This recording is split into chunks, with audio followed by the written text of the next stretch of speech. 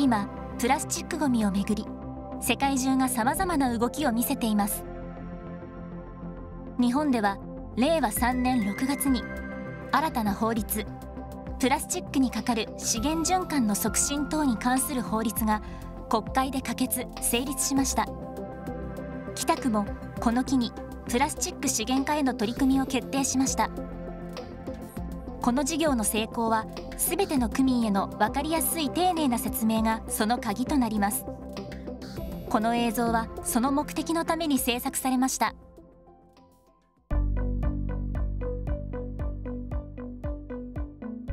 ねえサンクルちゃん今日はどんなお話をするの？皆さんこんにちは。今日はこれから北区で始まるプラスチック資源化事業について紹介します。それでは私たちと一緒に北区のプラスチック資源化の取り組みについて見ていきましょう。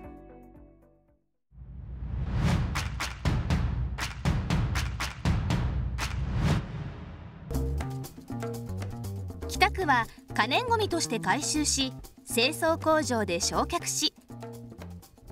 サーマルリサイクルで発電や熱回収してきたプラスチック類についてこれからは資源として回収していくの。この取り組みは地区ごとで2段階でスタートするの。滝野川地区は令和4年10月から。そして王子赤羽地区は令和5年4月から始まるの。北区におけるプラスチック類は時代とともに違った形で回収されてきたのを知ってる？そうなの？今は可燃ごみだよね。まず昭和49年から不燃ごみとして回収を始めたの。平成になり平成20年4月から可燃ごみとしての回収を始めたの。そして令和4年10月滝野川地区から資源として回収していくことになるの。資源として回収するためには分け方も重要なの。分け方の説明に入る前にプラスチックをめぐる国の動向など最近の状況を紹介していくね。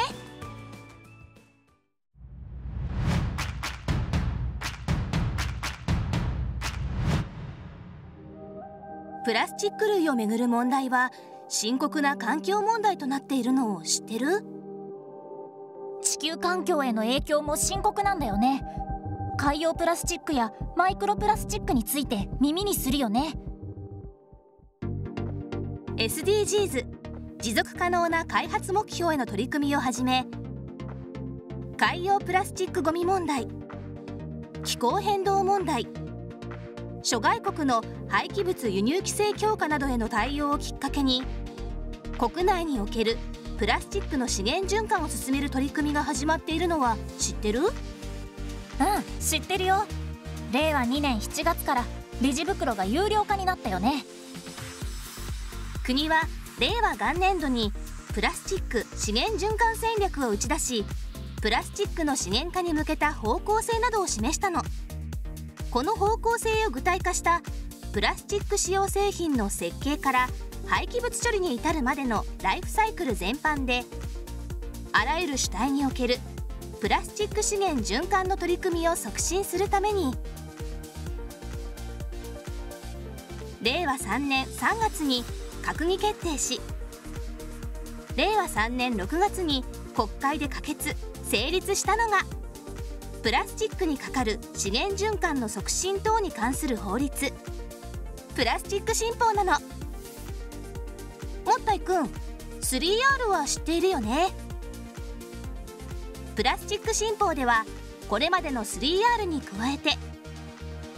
新たな4つ目の R となるリニューアブル再生可能な資源への代替にも取り組んでいくことが掲げられたの。プラスチック新法には3つの柱があるの。1つずつ紹介していくね。1つ目はプラスチック製品の設計製造において再資源化可能な環境に配慮したものに変えていくこと。続いて2つ目として使い捨てプラスチック。いわゆるワンウェイプラスチックの削減。そして3つ目が排出されるプラスチックを回収リサイクルすること。この皆さんと北区の取り組みについては次のパートで詳しく説明するね。脱プラに取り組んでいる企業もあるの。プラスチックに代わる製品を製造したり代替製品を実際に使用しているお店も区内で増えているの。紙製のストローなど紙製品を使用して脱プラに取り組むお店や企業が増えていくといいよね。みんなも身近なところから脱プラに取り組んでみてね。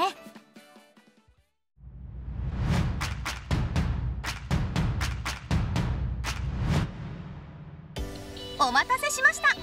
続いては北区での取り組みを紹介していくね。北区は国の動向などを踏まえ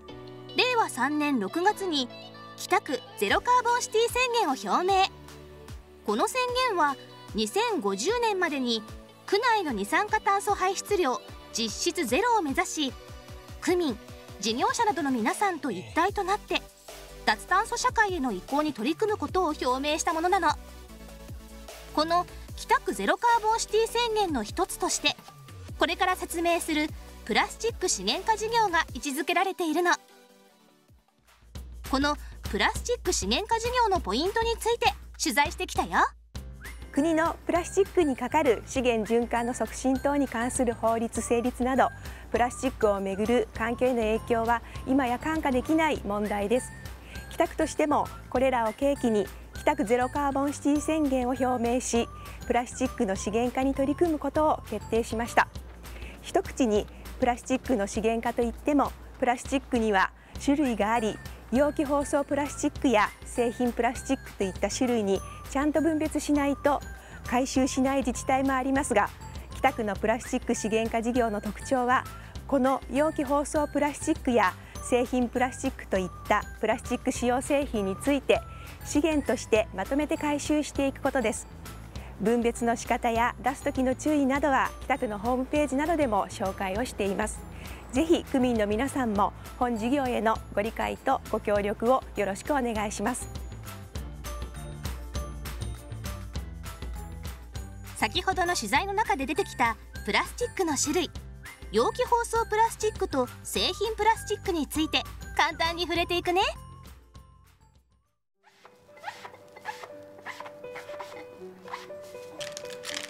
あー美味しかった。ママおやつ美味しかったよ。この袋ゴミだから捨てておくね。たっくんこのプラスチックの袋なんだけどこれからは大切な資源なの。えそうなの？今までは燃えるゴミだったじゃん。そうね。でもプラスチックの袋もまた生まれ変われる大切な資源なの。だからこれからはプラスチックの袋はプラの日に出しましょうね。資源になるプラ製品ってどんなものがあるのかな？まずは容器包装プラスチックから。これは皆さんもよく見かけるプラマークがついた製品。基本的に食品などを包んだりしている袋。またはコンビニやスーパーファストフード店のお弁当やお惣菜の入れ物などで使われているプラスチックのことなの。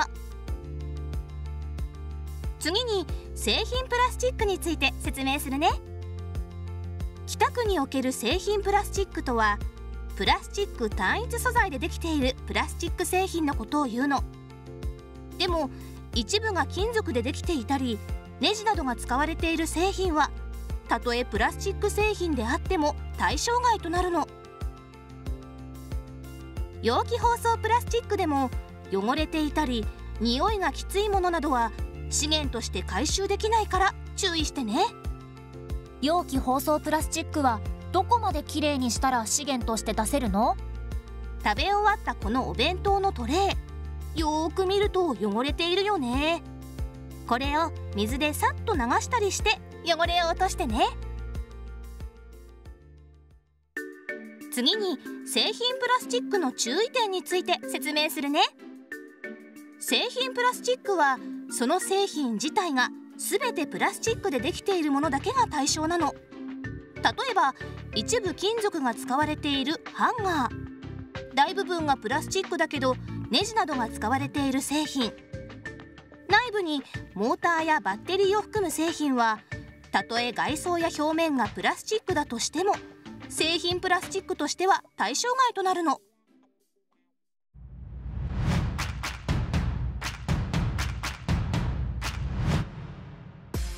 このパートでは区が資源として回収するプラスチックがどのような工程を経て資源としてリサイクルされていくのかを紹介します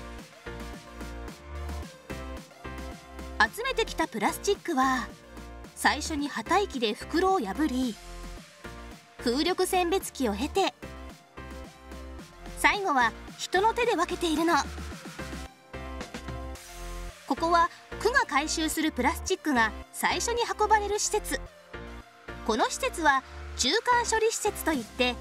北区が回収するプラスチックを種類ごとに選別圧縮梱包を行う場所なの。なるほどね。区が集めてきたプラスチックは手作業で選別されているんだね。またプラスチック資源として絶対に入れてはいけないものもあるの。そうなの？教えて。最近スマホの普及で増えているモバイルバッテリーや加熱式タバコリチウムイオン電池などは回収車両や搬入先の工場で火災が起きたりする危険性があるので絶対に入れないでね。カミソリの刃などは不燃ごみの日に出してね。種類ごとに選別されたプラスチックは中間処理施設で圧縮梱包されて容器包装プラスチックは日本容器包装リサイクル協会経由でリサイクルされ製品プラスチックについては資源化事業者においてリサイクルされるの。容器包装プラスチックからリサイクルされる製品としてはパレット再生樹脂車止めなどがあるの。また製品プラスチックの資源化においては科学的に処理していくケミカルリサイクルという手法などでリサイクルしていくの。北区ではケミカルリサイクルをはじめ将来的にはさまざまな用途に生まれ変わることができるマテリアルリサイクルを視野に今後の資源化に取り組んでいきます。ここまで見てくれてありがとうございます。私たちから紹介する北区プラスチック資源化事業の説明はこれで終わります。区民の皆さんぜひプラスチックの分別資源化にご協力をお願いします。